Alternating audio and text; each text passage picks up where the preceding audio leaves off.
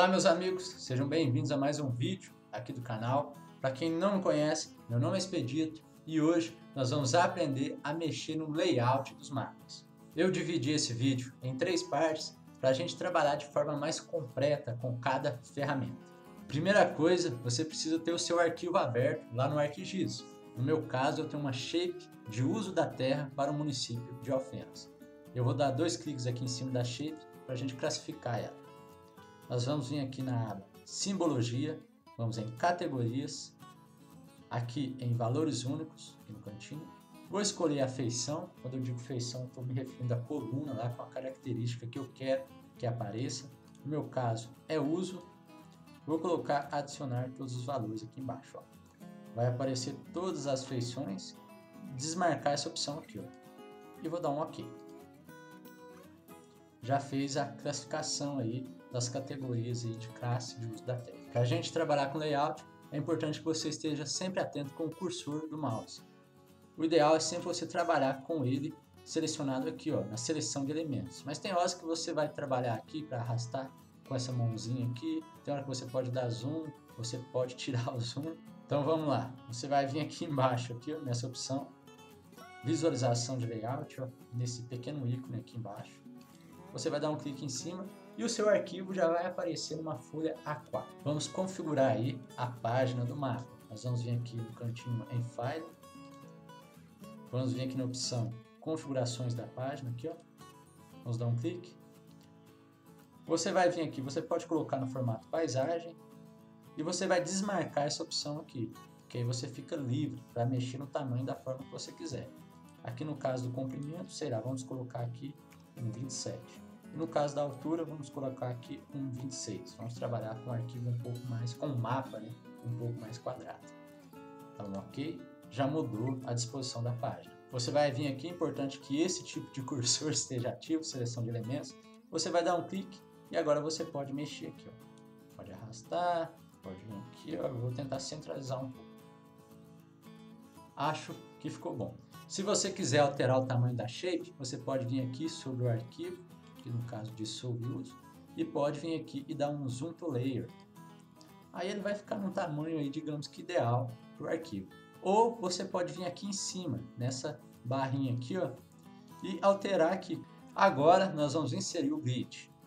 Você vai vir aqui do lado, sobre Layers, aqui ó, e vai dar dois cliques.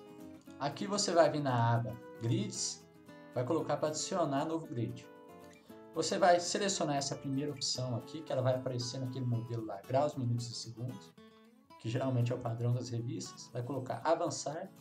Aqui você vai selecionar a primeira opção, que vai ficar apenas os marquinhos do lado, sem nenhum risco no meio do mapa. Vai colocar avançar de novo, avançar e finalizar. Você pode dar um OK. Aqui já apareceu o nosso grid, mas está muito pequeno, mal está dando para ver. Então nós vamos configurar esse grid.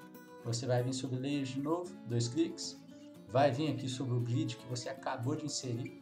Vai dar dois cliques aqui, ó, Gratitude. Nessa aba Labels, você pode selecionar onde você quer que apareça o grid. No caso aqui está selecionado para os quatro cantos. Se você quisesse que aparecesse só no topo ou só de um lado, era só desmarcar aqui. Aqui está o formato, graus, minutos, segundos. Vamos colocar a fonte times aqui, ó. vamos alterar. E aqui no tamanho, vou aumentar o tamanho, sei lá, vou colocar 20. E vou dar um OK aqui, só para a gente visualizar. Já mudou a feição aí do nosso vídeo, já ficou bem melhor, ó. aumentou o tamanho. Vamos mexer mais um pouquinho, vou aqui em Layers, dois cliques de novo em Latitude. Ainda aqui na aba Labels, nós podemos vir aqui na questão da orientação. Tá vendo que o número está aparecendo reto aqui? No caso, a gente quer que ele fique encostadinho no mapa. Então, nós podemos selecionar a orientação aqui, ó, left e right. Agora ele vai ajustar. Eu vou vir aqui agora nas outras árvores e já vamos mexer um pouco. A primeira aqui, ó, é em relação a esses pequenos tracinhos. Se eu quiser aumentar o tamanho do traço, ó, se eu quiser que ele apareça só de um lado, é só eu alterar aqui. Aqui é em relação às labels do interior do mapa, mas a gente não inseriu, então não vamos mexer nisso. Aqui a gente já mexeu, aqui em relação à linha, mas a gente não inseriu linha, que senão ia ficar uns tracinhos no meio do mapa. Nessa opção aqui também a gente não vai mexer. E a última aba que também importa para a gente é a questão do intervalo. No nosso caso aqui o intervalo está de 10 em 10 minutos. Se a gente quisesse alterar esse intervalo aqui, ficariam mais espaçados os números. Por exemplo, eu vou colocar aqui, ó, só para a gente ver a alteração, 15 e 15. E vou dar um OK, e aqui nós vamos apertar OK de novo. Aí, ó, já mudou o distanciamento entre cada número aqui, entre cada é, coordenada, e mudou também a disposição. Tá vendo que agora ficou ajustadinho o mapa? Então é isso, pessoal. Essa é a primeira parte do vídeo. É assim que a gente configura o grid. Espero que tenham gostado, pessoal. Não deixe de acessar o vídeo da parte 2. Fiquem com Deus e forte abraço.